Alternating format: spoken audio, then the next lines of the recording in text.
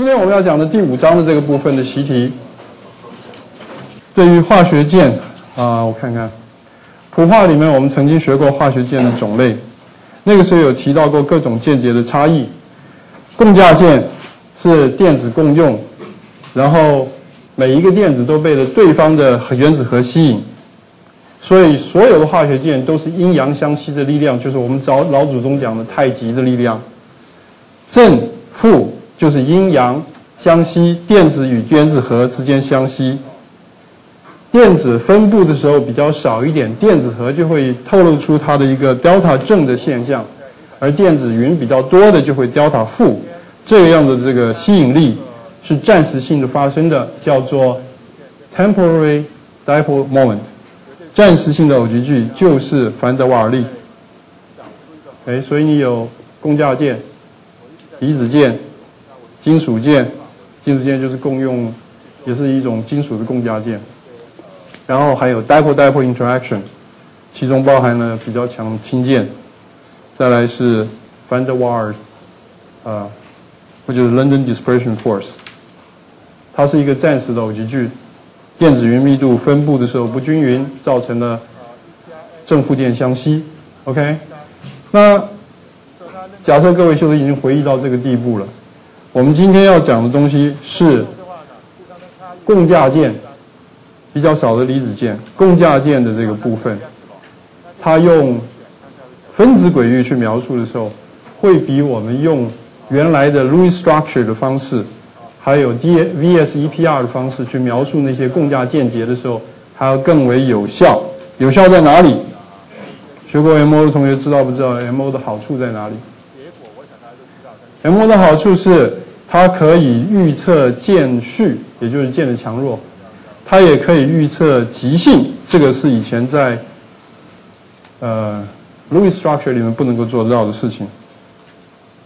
所以 MO 我们要学到的东西是，我想一下各位要学的学习目标啊，在第五章。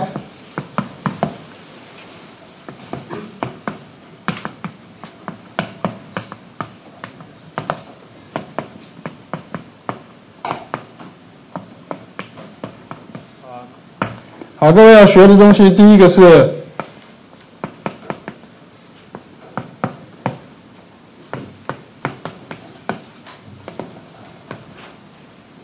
atomic orbital 跟 molecular orbital，你们的画法要会画出来，px、py、pz 的轨域，还有 dx、dy、dz 的轨域要能够画得出来，dxy、dyz 的轨域方向在哪里，要会画得出来，而且要写得出它的呃。呃，正负符号，也就是它的 sign，它有一个绝点的话要分开来。然后这些原子轨域组合出来的 MO 一般分成三种，就是 bonding 和 anti-bonding 和 non-bonding。那这三个的 MO，各位要会画的是什么？第一个是它的图形，像这样子的图形，这是一个。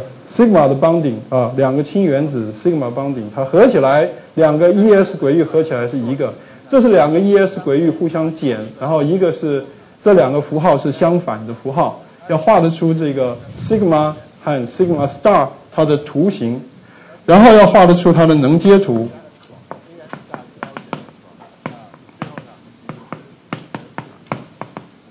所以能阶图就是能阶的高低，你要从原子轨域向 P 轨域跟 Px 跟 Px 之间形成的 sigma 棒，一个是低的 sigma，一个是高的 sigma star，这样子的原子呃 MO 的能阶图，各位要能够画得出它的高低。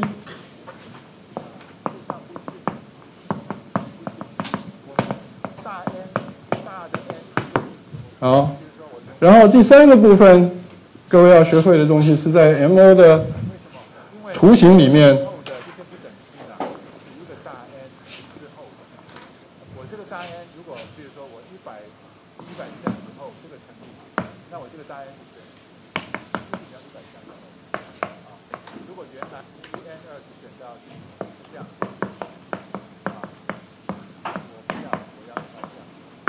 然后标明它的 G 跟 U 这个是我们讲过，这是对于 inversion center 而言，只要是对于 inversion center 是对称的，像这样子的对称，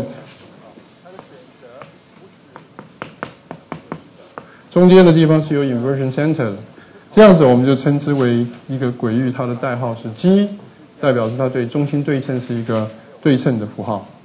你要会画 G，呃，你要会判断 G 跟 U，判断它的高低，还要会画出来这个轨域跟另外轨域结合以后的原子呃分子轨域它的图形是什么，判断得出来那个图形的 Millikan symbol 的代号是什么，然后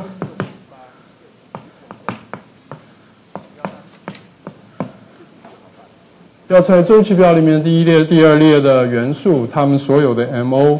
它的这叫双原子的 MO 要能够画得出它的图形。这个图形的重点是这些轨域在 lithium 的时候是这里，然后在 ion 的时候是在这里。它有一个现象，它会下降、放大。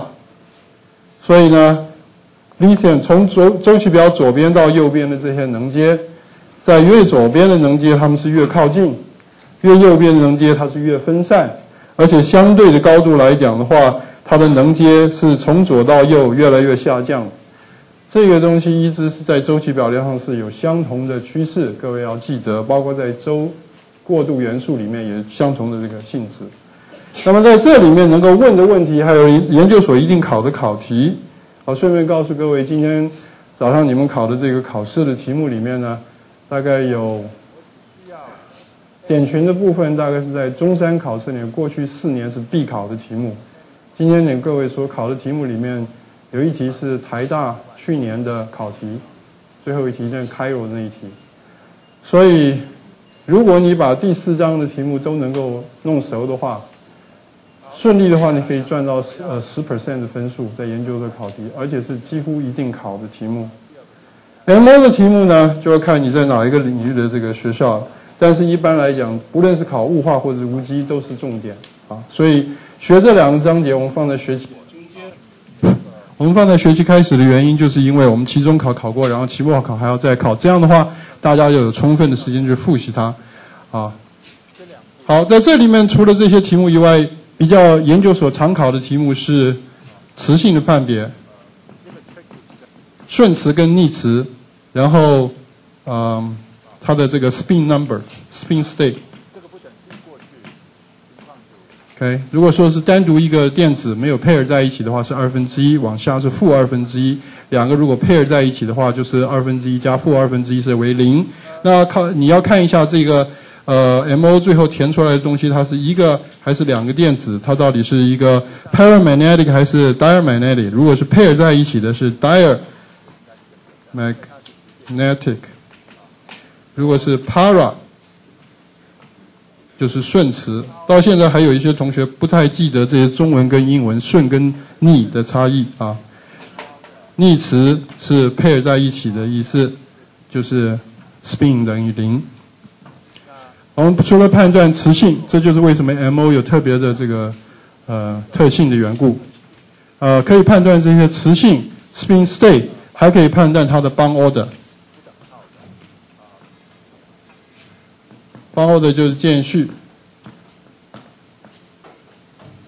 啊。各位如果说有心要去考研究所的话，要记得，现在如果你已经忘记了普化的东西的话，你大是大大概是你现在是要急起奋起直追的时候了。因为研究所考试的时候，就是从第一章考到最后一章，从一年级考到四年级全部的东西。因此你不能说我不记得间序怎么求，我不记得 formal charge 怎么求，那么。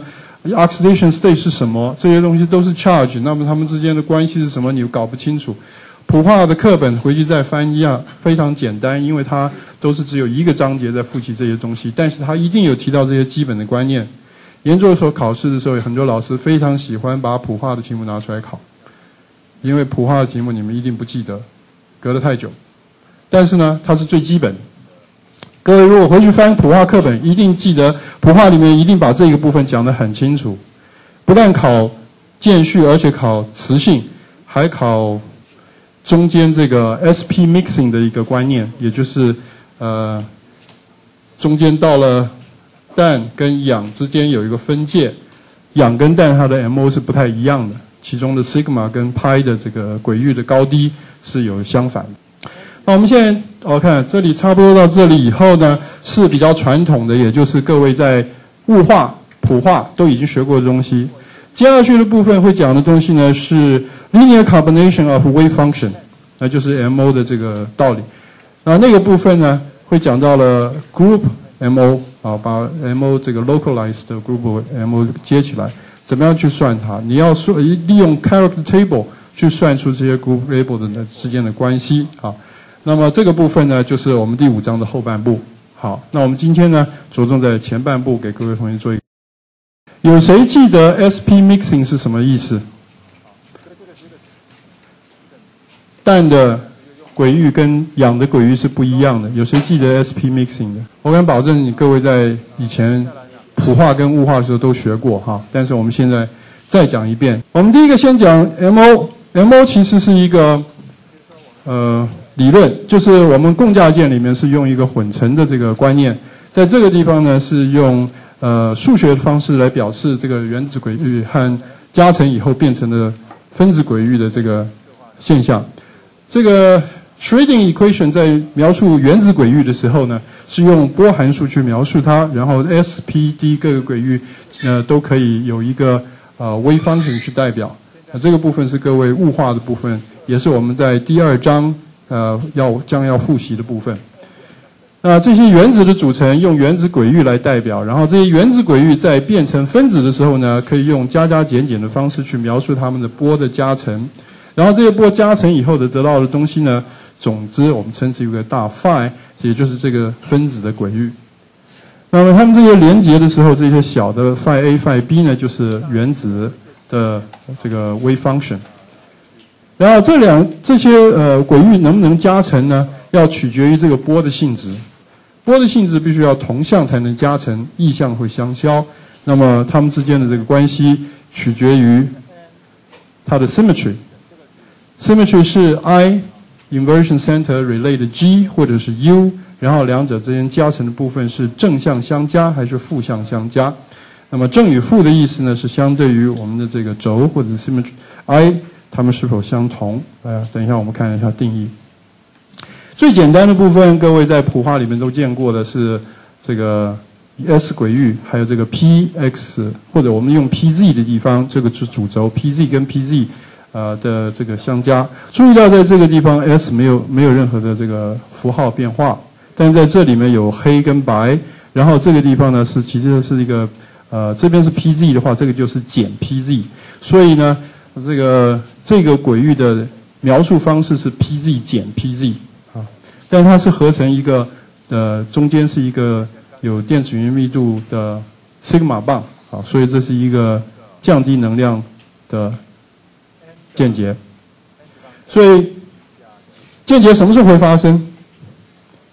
第一个对称相关，第二能量相近，第三距离相近。好，把这个地方写下来，要不然各位也许不太能够了解一下 MO 的组成，他们的条件。你会问问很多不必要的问题，所以我们把这个放出来。MO 什么时候可以发生？什么时候会产生间接呢？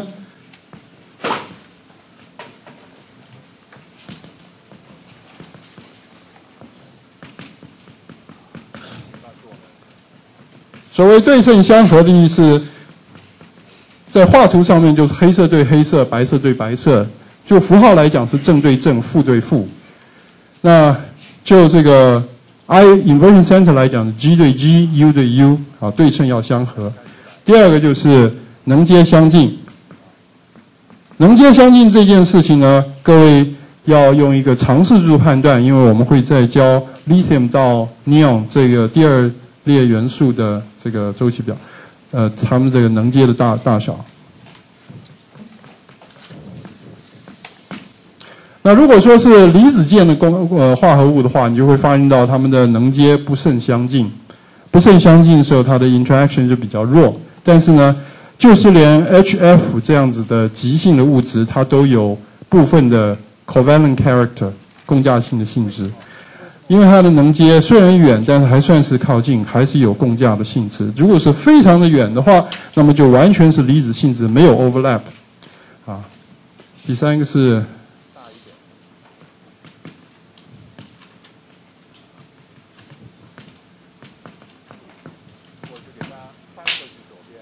原子间距要相近。那在分子里面呢，靠近的原子才会有间接，远端的原子的话就不会有间接。好，这是间接产生的要件。好，如果说你这个呃所形成的 MO 呢，它的能量的高度是比原来原子轨域啊来的低的话，我们就称之为这是 bonding。这是如果说是一样的，那么就称之为是 non-bonding。如果说是比较高的，我们称之为 anti-bonding。所以 bonding anti-bonding 的定义是以能阶的高低来做定义的啊。以这个例子来讲，这是氢的 ES 轨域的原子相加，ES 跟 ES 之间如果是 overlap 的话会成这样。如果你要看它的这个呃 linear combination，如果说是用加的，那么同样是白色加白色形成一个大的圆圈圈，这个是一个能阶。相对于在这里，对于原子。的能阶而言，它是比较低的，所以它这是一个 sigma bonding，也就是它是一个间接的轨域。而上面的 sigma star 呢，是用减的方式，减的意思就是黑色变白色变黑色，然后这两个中间的中间是有一个截电截面的哈，它们两者之间在这个地方是没有截面，它两是合二为一的，这样子能够把符号变化或者是把颜色变化的这个我们称之为截面。这个截面会造成这个 bonding 呢，这个符号相反，颜色相反。像这样子的间接，我们称之为反间接。那如果说在这里面没有了，但是如果说你的这边的的这个间接里面的能量有一个是跟原子轨域是相合的，那么就表示这个 bonding 没有任何的能量变化，我们称之为 non-bonding 啊，在这里面是没有，因为一加一一定等于两个 mo。所有的原子轨域的数量组合一定是等于所有的分子轨域的总和数量。在这里是一个 s 加一个 s 生成两个 mo，一个叫 sigma，一个叫 sigma star。那上面这个呃图形就呃彰显出来我们的 bonding 跟 anti-bonding 的定义。然后在这个地方的 sigma star 呢，这个 star 代表的就是 anti-bonding 的意思，non-bonding 就用 n 来代表。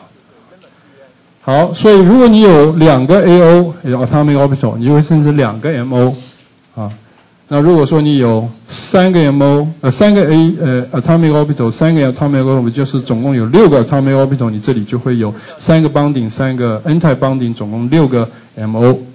好，total energy lower 的比较低的这个我们就称之为 bonding，啊，比较高的我们称之为 anti bonding，是能量是比较高的。然后我们的符号是用 sigma star 跟 sigma 来代表。那在这里面，sigma 跟 pi 在早期的时候，我们请各位同学呃回忆一下，我们有定义过 sigma，我们是定义在原子之间电子云有密度的，称之为 sigma。pi 呢？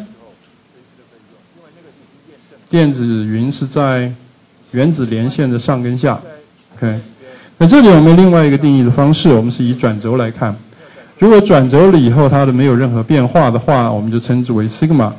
像这个地方是，呃，拍轨域可以形成的上面的这个共用轨域，看下面共用轨域，而是电子云在上跟下的，经过了呃这个 c 柱转轴了以后呢，符号会变化，这种呢我们就称之为拍。所以是以转轴来判定它是 sigma 还是拍，这是另外一个 sigma 拍的定义。好，那 sigma 要形成的时候，除了刚刚的 s 轨域可以形成以外，p 轨域也可以形成。我们以 pz 为主，为什么要 pz？记得我们用 z、y、x 这个顺序来标定我们的喜好。所有的 x、y、z 来讲的话，主轴的都是用 z 轴为准。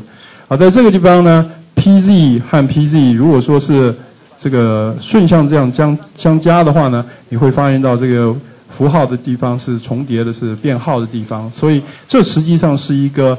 呃，反间接，所以并不是所有的原子轨域加原子轨域就是间接。像刚刚的 ES 加 ES 是间接，但 ES 减 ES 是是 sigma star。可是，在 P 的轨域里面的话，它相加呃相加反而是一个 anti bonding，而相减是一个呃 covalent bond 呃不是一个呃 bonding 的呃 interaction。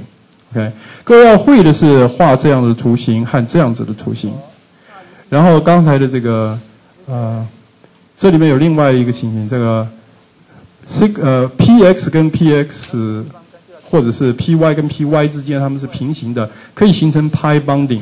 那这个 pi bonding 呢，上面的合起来一圈，下面合起来一圈，这就变成了一个 bonding 的 pi 所画的方式。而原子的原子核中间线是它的截面，然后它的符号会或者是颜色是不一样的。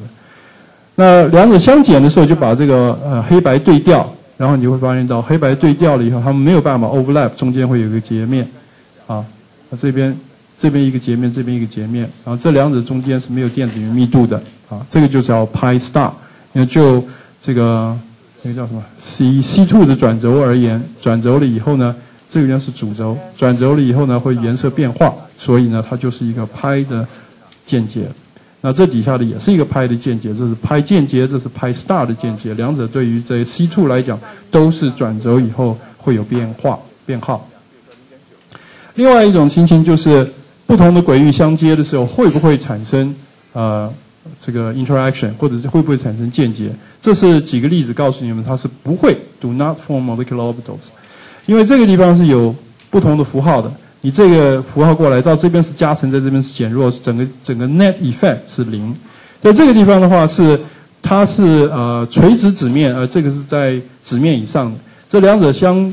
接触的时候呢，就会发现到说，白色的部分也对于白跟黑会接触，黑色的部分对于上下也会接触，因此它们都会相消，就不会产生任何 interaction。好，所以刚呃以 p 轨域来讲的话，我们刚刚讲的 pz 的部分啊，如果是相减就会得到了 sigma，然后会相加会得到 sigma star。另外的拍的部分呢，px 一个拍轨域，py 一个关拍轨域，两者之间呢是刚好呈九十度垂直的。那这些轨域呢，都存在在原子核的附近，也就是原子核的这个轴线上有这个间接，然后在这个 p p y 的在这个地方有啊这样子的两个 lobe，然后在突出纸面的地方和呃进入纸面的地方有这个排，这些轨域就全部重叠在一起，就形成我们的分子，但是它的能阶不一样，我们就把它分开来分开来看，而这个就称之为能阶图。各位要会画的就是这。刚才各位不记得 SP 的 mixing 是指的这个 P 轨域啊，跟底下的 S 轨域呢也会有作用，而会造成这个排列的顺序呢，这个 sigma 会往上跳。我们等一下再看一下这个事情。啊低轨域的 combination 呢是比较啊稍微复杂一点的，你只要记得低轨域的形状就好了。低轨域的 dz 平方的这个这个。轨域非常像 PZ 的轨域，只是它这个地方有一个 donut，也就是呃甜甜圈啊，有一个甜甜圈在中间。那它的符号是上下是一样，中间是不一样的。这个 x 呃平方减 y 平方的这个区域，那么相加的时候呢，会得到中间是相同的啊轨域，这里没有节点，但这个地方呢有截面啊，所以这个是一个 sigma star。那这个是由低轨域造成的，那么 d x y 或者 d y z 呢，是像呃叶片上的形形状。那么它们这个相加相减的时候，也会形成 sigma 邦呃抱歉 pi bonding 跟 pi star 的 bonding。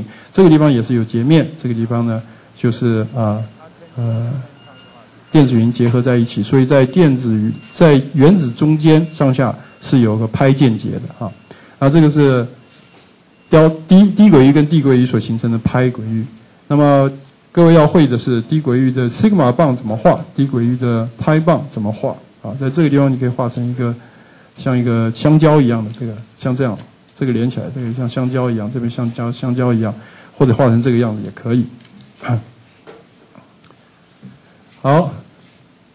无机里面比较特别的地方是有机里面的 bonding 是从 sigma 到 pi 就没有了，但是无机里面还有一个 delta bonding 呢，是从低轨域的 dx 平方减 y 平方或 dxz，通常是 dxz 造成的啊。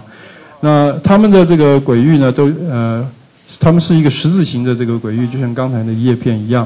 那它们两者之间呢，会有一个平行的这个这个原子和这个原子相近，然后它们之之间的轨域，如果说角度是对的。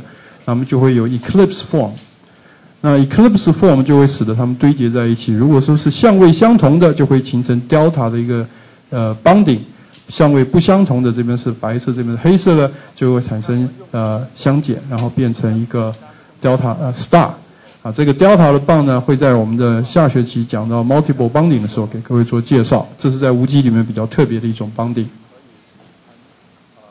好。那如果是 dz 对 dxz，请问一下会不会有作用？会形成什么样的键结？原则是什么？就是相加相减的时候，如果说是有 interaction，啊，就会产产生 sigma 或 sigma star 或者 delta delta star 这种间接。如果是没有 interaction 的话，像刚刚那个位向不对的，这个位向不对。这边位向不对的，就会没有 inter interaction。没有 interaction 的时候，我们称之为 non-bonding。OK，好，那比较特别的是，稍微现在记一下，我们现在还不会详细讲这件事情。就是 delta 棒呢，实际上是指说对于 C 四轴会产生呃像呃这个符号的转变，也就是它每九十度就转一个符号，每九十度就转一个颜色，黑变白。啊，好像这几个例子呢是。有没有 interaction 的例子？哎，像这样子的 interaction 呢是没有的，因为它的这边你把它重叠在这个地方，发现到说在这个地方是有对这两个颜色对于任何一个 loop 来讲的话都是有加有减啊。像这样子的这个轨域呢是有相加的部分，所以呢在这个部分会形成间接，那在原子之间呢就会有 sigma 的间接。好，各位想一下，这个地方会不会有间接？那刚刚就问这个题目的时候，各位就要知道，你有间接的时候，它是 sigma 还是派还是 delta？OK，delta 只有 d 跟 d 才会有。好，这是课本的，我们要进进展快一点，所以这个 exercise 留给各位去看一下，它会做出来，它答案，抱歉，答案就在这个地方，它告诉你它是啊 pi interactions，del 呃 sigma interaction，OK，然后这个是一个啊。没有 interaction。好，第二个部分就是我们介绍，除了绘图的部分，是能接的部分。能接的高低要能够绘画的出来。但是能接的高低是取决于他们是那里呃能接要相近。像在这个地方，能接是相同的，它们的作用力非常的强。能接有高有低，它们之间重叠的区域比较不多。这个地方和这个这个地方下降的能量和这个地方上升的能量，两者是相同的。在这个地方，如果能见非常的不同的话，就会发现到它们的作用力是很少的。那这种我们就称之为 partial 啊 covalent bonding 啊。好，我们进入到呃双原子的介绍。双原子分子里面呢，呃，从氢到氖，这个双分双原子分子啊，有些未必存在啊，像氖是不会存在。那个时候呢，我们会发现到我们做出来的原子轨域，把的电子一路填上去，填到满啊，就会发现到 anti-bonding 的电子跟 bonding 的电子数是相等的，也就是它的 bond order 是为零的。bond order 呢，我们等一下会介绍，就是间接的电子数减掉 anti-bonding 的电子数，然后除以二，因为每一个键是两个电子啊，所以除以二。好。每一个周期表上的电子呢，你把它记下来，然后的 MO 都差不多相同的，然后你就开始填电子填上去。所以我们可以从左边周期表一路填到右边周期表，这样的填上来，然后看看它。一个是这是 ES，ES 的话，这个地方如果是氢原子，一个电子和一个电子合起来，这么氢分子呢，就会是在这里两个电子，然后这里就没有。那么氦的话，就是有。每一个原子有两个电子，所以这个地方会有两个电子，然后这上面会有两个电子。所以对于氦来讲的话，它们轨域，呃，这个相合以后会得到 linear combination 是一个间接，一个非间接。所以意思就是它的邦顶是为零，意思就是它不会有间接。好，那氢氦，然后锂，锂的话呢就是。E S 完了以后变成二 S，二 S 的话就是这边在一个锂的话一两个在下面，所以是可以的。锂皮皮的话是在上面两个，所以就不会形成。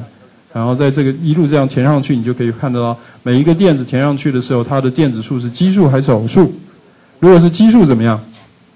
它的磁性就是顺磁。好，邦霍德的做法就像刚刚讲的啊，这个部分各位有没有还不记得的？应该有很清楚哈，间接减掉呃反间接除以二。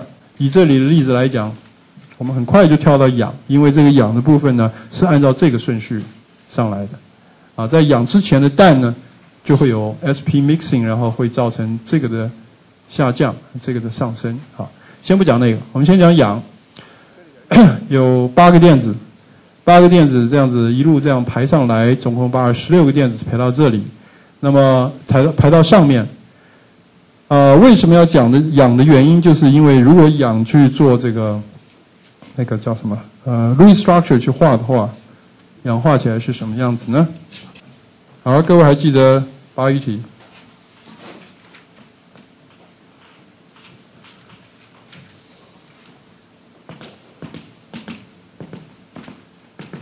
六个电子，哎，所以如果说我们把画起来的话，一二三四五六七八，每一个点每一个氧都是八个电子，合乎八隅体双键，啊，你如果再把它放下来，它就不合乎这个八隅体了。以这种情形来看的话，你会认为说它的这个周围的价电子呢，全部都是成双成对的，因此。它是一个逆磁，按照我们这个 we structure 的判断，但实际上根据我们的实验，各位在普化实验的课本一定可以翻得到，一个大磁铁，两个电磁铁中间把液态氧从中中间倒下去，你发现了液态氧的那个会直接偏极在被另外一个电极给吸引，所以它实际上是一个顺磁的。氧是一个顺磁的物质，怎么解释呢？只有用 MO 可以解释，因为你从这样子排低轨域上去的时候，最上面的轨域所填到的这个电子呢是 pi star，而这个 pi star 的这个电子呢，因为它有两个轨域是相同的，我们称之为简并。请问一下，简并的英文是什么？能量相等，我们英文叫做什么？degenerate。Degenerate 就是简并，就是相等的意思。所以呢，两个电子必须要各占据一个轨域，各占据一个轨域。请问一下，spin 多少？一个二分之一，一个二分之一，总共几个？s 等于二分之一加二分之一，所以等于一。OK，我们可以考你，它是 paramagnetic 还是 diamagnetic？什么叫做 dia？什么叫做 para？什么叫 paramagnetic？顺磁。那它是顺磁还是逆磁？顺磁，因为它在磁场里会怎么样？受磁场影响，不是简并是指它能量一样的意思。简并是指能量一样的意思，但是如果它是分开来的，因为它能量相同，所以两个电子只能够填在各自一个，所以它就不会是逆磁配而在一起。它如果说是一直填到上面的话，两个逆两个合起来的话，那么一个轨域上面最高轨域上面是两个电子，那么 S 就为零了。好，但这里是二分之一加二分之一，所以 S 是一。如果这个地方翻转过来跟它并在一起的话，那么 S 就为零。我是不是讲太快了？还是你？我以为各位晓得这件事情。张婉如，二分之一加二分之一等于一，这个 spin state 和 S 等于零，你知道吧？对，好，那请问一下这边的部分，如果是最高轨域的话，它是 diamagnetic 还是 paramagnetic？Paramagnetic？dia 是顺呃逆词，para 是顺词，然后就只记一个好了。paramagnetic 是顺词，只要讲到磁性有磁性的一定是 para，没有的话就不要去讲它了，是 die。所以氧这个例子告诉我们，mo 告诉我们是非常有效的。